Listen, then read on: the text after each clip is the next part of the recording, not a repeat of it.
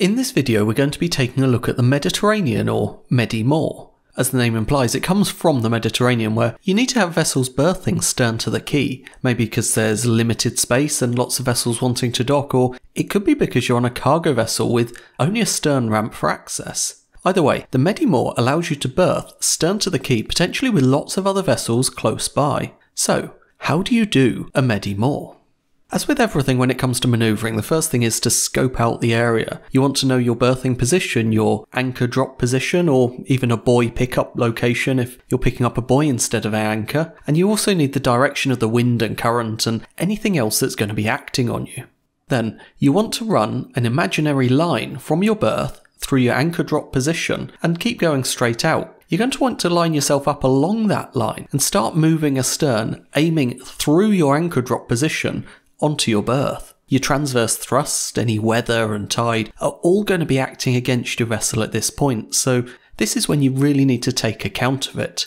If you've got it wrong, you should know before you reach your anchor drop position, so it gives you a chance to run ahead, come around, and have another go. Once you've got it right, though, you want to keep moving astern. As you move through your anchor drop position, you're going to let go the weather anchor, so the anchor in the direction that the wind is coming from. Let the cable pay out though as you continue to move astern. You've got everything balanced at this point, so don't go and ruin it by snubbing on the anchor or something. Just keep that chain flowing away from your vessel. Keep moving astern until you get closer to the berth, and as you do get in, you can then start to take up a little bit of weight on the anchor. This is going to pull your bow round if you're out of line a little bit, and it's going to take some of your sternway off. No matter what you do though, don't take off all your sternway, you need to keep your vessel moving. As you get close enough to run some lines to the quay, send them. You want to send your weather lines first. That could be from the quarter that the weather's coming from, or it could be from your lee quarter if you're going to be crossing your lines at the stern.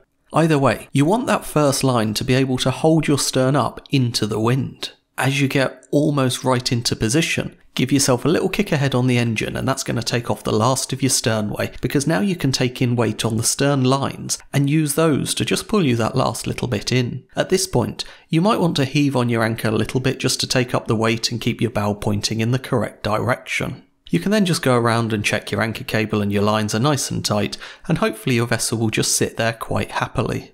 When it comes to getting away from a Medi-Moor, well, this is one of the advantages of it. You're already pointing out into safe water. You simply ease on your stern line, so you probably want to recover the line going to the lee side because the weather line's going to hold you up. Then recover that last line. Your anchor cable, then, if it's still got weight in it, is naturally going to pull you out of your berthing position. Just keep drifting forwards, heaving on your anchor cable until you've recovered your anchor completely, at which point you're good to go.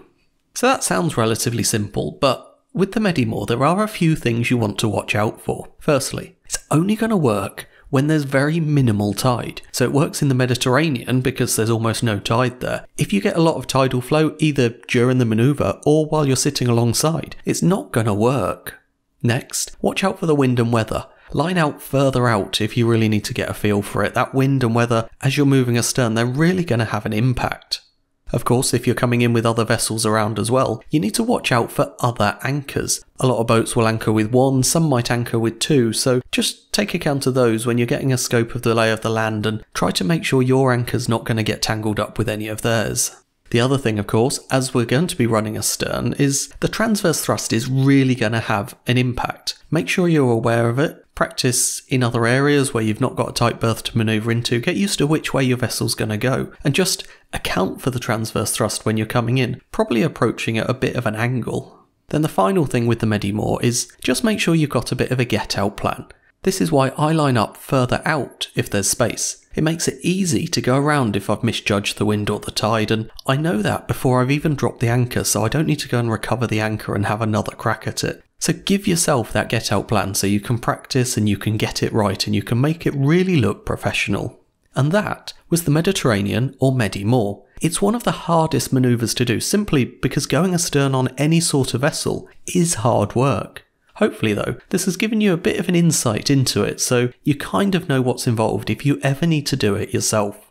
For more videos like this, don't forget to subscribe and turn on notifications. If you have any other videos you want me to make, leave me a comment. I try to read them all, but I do have a lot between all my channels. To be certain though, why not consider joining the Casual Navigation community, where you can message me directly and get access to a whole load of bonus content. There's a link in the description if you want to come and check it out.